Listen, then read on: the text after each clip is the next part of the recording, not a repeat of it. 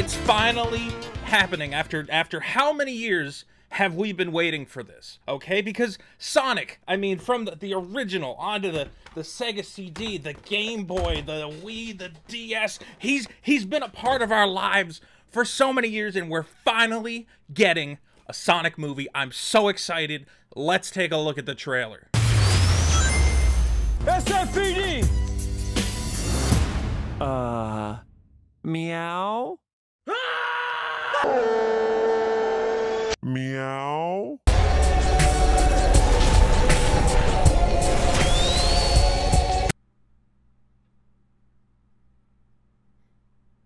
All right, so that's the Sonic the Hedgehog trailer. Looks like they spent about $10 on it, and nine of those dollars went to Jim Carrey. Now, here's the thing I'm not that disappointed because I never thought Sonic the Hedgehog was a good idea for a movie anyway. But it is continuing this trend that is that is very strange to me of taking something that has a built-in fan base. The fans love it, and there's tons of them. They're crazy. They want to see Sonic inflate like a balloon. Please don't put that in the movie. But the point is, there, there's so many of them, and they're all willing to line up and get themselves a ticket. So why not just give them what they want? Just give them the Sonic that we've loved for what 25 years now. We we know what Sonic looks like. Nobody is upset with what Sonic looks like. We don't look at Sonic and go, "Oh, what a terrible character design. When are they going to fix it?" No. Now, obviously, you have to change it slightly. I mean, you are making a movie, and he's interacting with real human actors, so you want him to look a little bit more realistic. But we saw with Detective Pikachu, I don't look at Detective Pikachu and say, what is this abomination? I say, oh, yeah, it's Pikachu, but he's, you know, got more realistic fur. I mean, the character is basically unchanged, except it's a little more realistic. Here, I'm looking. What the fuck is this fucking thing? He's got these. The teeth are the probably the biggest problem for me. He's got these weird human teeth. I don't know what that's about. And also the eyes just are, are soulless. They lack Sonic's charm and his energy. It's just it, it's a nightmare monster. The Sonic we know, he's cool. He's a cool guy. This Sonic is like some fucking gamma irradiated monster had an abortion baby and it came out looking like this. This this is ridiculous. I assume they want to sell action figures and toys, so maybe they did some sort of market research and they said, "Well, kids like this this horrible monster more than the regular Sonic. But that that doesn't make any sense to me. Sonic is, is still popular among young people and, and the older fans. So really, what drives this decision? Now I have two theories. One is just that the CG animators are incompetent, which is very possible. Okay, I think they maybe hired like five guys and you know paid them in Burger King Kids Club meals.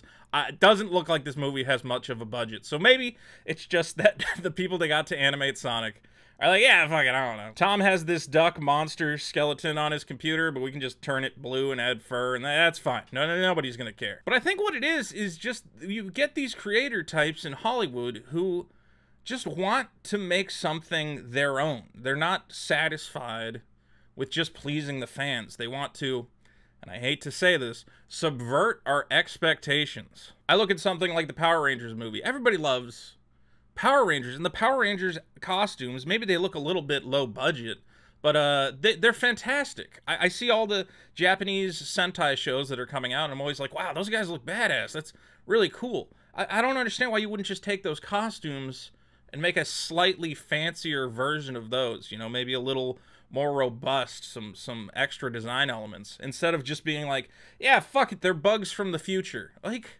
why? What what benefit is there? Because I I went down the toy aisle. I'm looking at the Power Rangers toys. I'm like, what kid wants this horrible looking thing? It's like gray and dark, whereas the normal Power Rangers are bright, colorful action heroes. What what is the benefit of, of this? We also saw it with the Teen Titans live action show. Some people are telling me the show is actually better than it originally looked, but we have Starfire. Starfire a fan favorite character. I love Starfire. And she's an orange skinned alien lady in the comics. Very voluptuous, okay? You know, she's a she's a good looking gal. And in the TV show, she's a she's a big black lady. It why?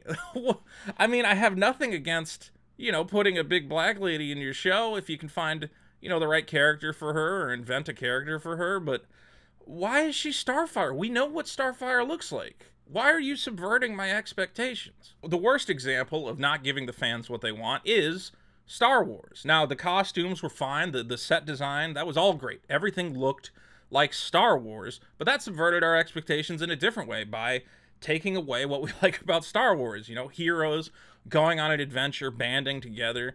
Instead, you just kind of ended up with these tales of failure and all the characters you ever learned to love ended their lives uh, miserable and alone.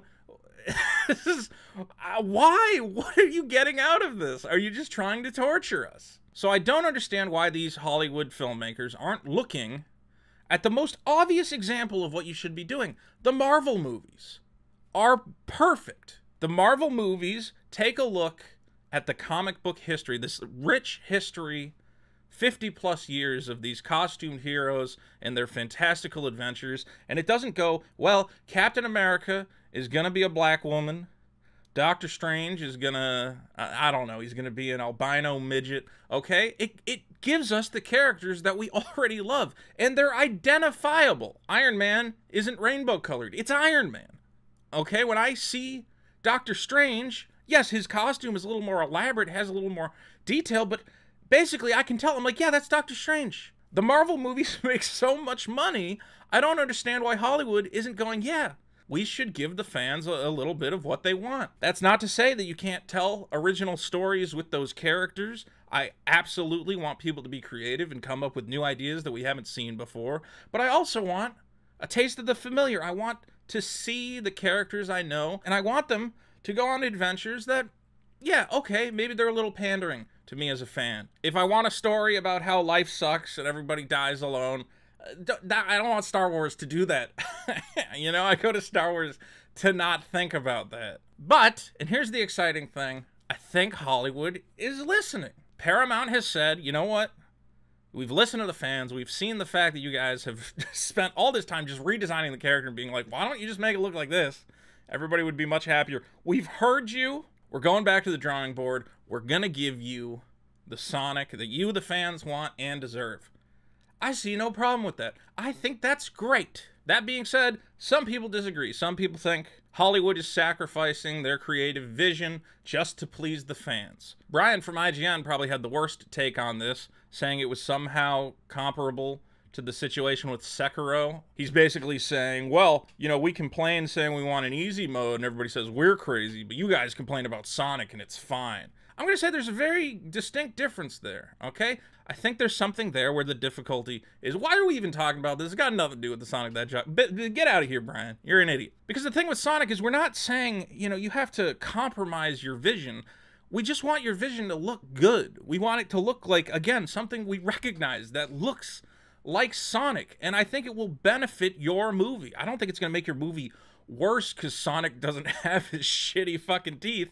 I think the movie's just going to be better if I can watch it without being visually horrified the entire way through. Hollywood, fan service is not the worst thing in the world. You've seen with Rian Johnson that when you ignore the fans and try to try to switch it up on them, try to catch them off guard, we don't like it. Just give us what we want. We're, yes, we're very simple people. We just want to see our favorite characters on the big screen. Okay? Things that we have grown up with are now getting their chance to be big pieces of loud, colorful, fun entertainment. Let us have that. That is what we want. Anyway, guys, thanks for watching. Don't forget, I'm, I'm serious about this. Down below, you gotta click this bell. YouTube has me. I don't know what this algorithm is, but people are not finding my videos unless they click the bell. I would love you to click it. I think you're gonna have a good time watching my videos if you like this one well, you come on back. We got more of them. More cool videos coming soon. Peace and love in 2019. And I will see you soon.